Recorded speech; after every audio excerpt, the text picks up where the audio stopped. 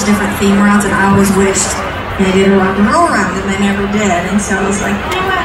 We're just going to bring the rock and roll round to South Dakota, okay?